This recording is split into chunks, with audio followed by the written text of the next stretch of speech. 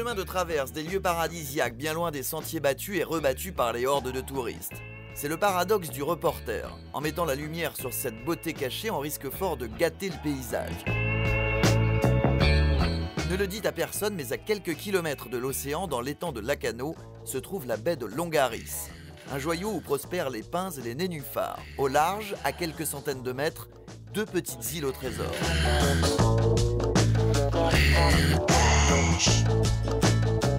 Originaire de région parisienne, Benoît est un vrai globe-trotteur. Ancien prof de ski, il a fini par poser ses valises dans le Médoc.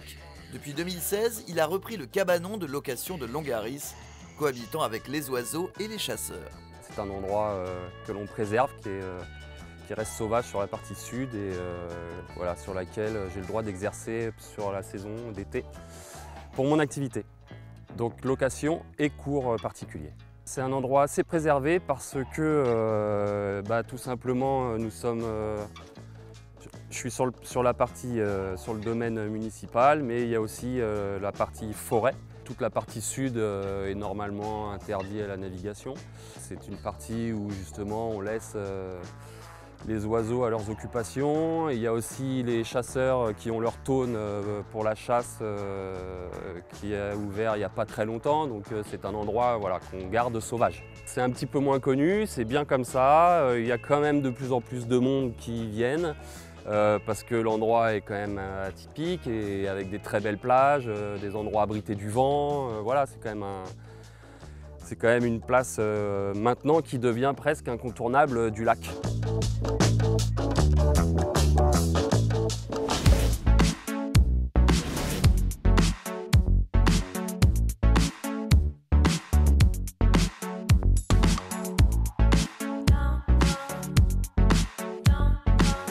y a 3000 ans, le lac de Lacano et l'océan ne faisaient qu'un. Puis les bras d'eau se sont taris pour offrir à la baie une tranquillité infinie. Afin d'y goûter pleinement, Benoît propose de louer de mai à octobre à peu près tout ce que l'homme a inventé pour glisser sur l'eau. Stand-up paddle, canoë, et de la voile, principalement du catamaran. J'ai aussi un petit dériveur et de la planche à voile. Ça m'arrive de donner quelques cours particuliers, euh, notamment en début de saison et en fin de saison, quand euh, mon activité le permet. Alors du coup, je suis obligé d'aménager, soit je le fais le matin, soit je le fais l'après-midi. Ça dépend du temps, ça dépend du vent et puis de la disponibilité des gens. Mais euh, j'essaye effectivement pour ma clientèle d'être le plus présent possible au niveau des cours quand je peux le faire. Alors au niveau sensation, euh, c'est principalement de la voile et du catamaran parce que euh, les catamarans sont des bateaux assez rapides en général. Euh, sinon, ils viennent aussi chercher de la quiétude, de la tranquillité pour pouvoir faire du stand-up paddle dans une zone déventée, que ce soit celle-ci dans la baie de Longaris ou bien derrière dans la baie du Bernos. c'est des endroits où il y a peu de vent, donc pour le stand-up paddle, c'est quand même idéal. Et il y a les îles à proximité à 20-25 minutes qui sont très accessibles, que ce soit en stand-up paddle, en canoë ou à la voile. Il n'y a pas de difficulté majeure en fait, la, navigation est assez facile, il y a juste des endroits où il y a des hauts fonds donc il faut faire attention et bien euh, stipuler aux gens que, voilà, que ça peut être dangereux mais il n'y a, pas de vrai danger en fait. Euh, et puis sur le lac on est euh, tous à surveiller les bateaux des uns des autres donc on communique et voilà, s'il y a un problème avec un bateau on le sait très vite.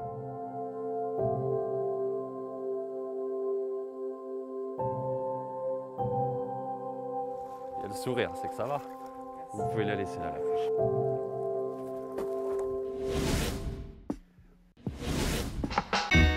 Gestes barrières, masques, désinfection du matériel, la crise sanitaire est passée par là et a forcément changé quelques habitudes. On a été obligé d'ouvrir un petit peu plus tard que prévu, donc euh, moi j'ai ouvert sur le dernier week-end de mai. Mais il se trouve que les gens, euh, notamment les locaux et les gens de Bordeaux avaient envie de profiter et de sortir. Donc on a quand même, euh, pour ma part, j'ai bien travaillé euh, dès, le premier week-end d'ouverture. après, voilà, on avait un protocole mis en place en accord avec la municipalité. Donc on faisait attention à la distanciation, au nettoyage des gilets de sauvetage, à la désinfection des pagaies et du matériel. Il fallait juste que tout le monde joue le jeu et ça s'est très très bien passé sur l'ensemble de la saison.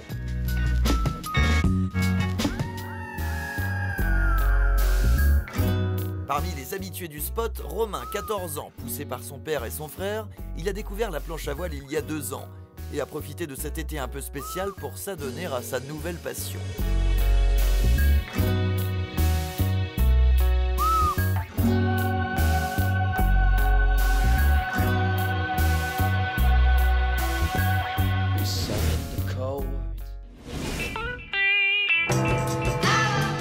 Attention avec le vent pour le retour, rentrez par euh, la berge à l'abri. Plus les années passent, plus j'ai du mal à envisager de me passer de ce lieu. Le fait euh, d'être au bord de l'eau, comme ça, au milieu des roseaux et des pins, euh, cette plaine, les baies, euh, bah voilà, on est vraiment dans un endroit comparable et euh, qui est euh, de plus en plus fréquenté parce que les gens pensent euh, comme moi, c'est-à-dire qu'on y est bien et on y est plus que bien. Donc euh, voilà, j'envisage pas du tout euh, de travailler ailleurs, en tous les cas sur des périodes saisonnières. Alors ce lieu qu'il faut continuer à préserver, heureusement euh, les activités saisonnières ne durent que deux mois, sans compter l'avant-saison et la pré-saison. Mais disons que la fréquentation est quand même la plus importante sur deux mois. Le reste de l'année, franchement, il n'y a pas grand monde, donc la nature reprend ses droits et, et je pense que c'est très bien comme ça, il ne faut pas dénaturer le cycle.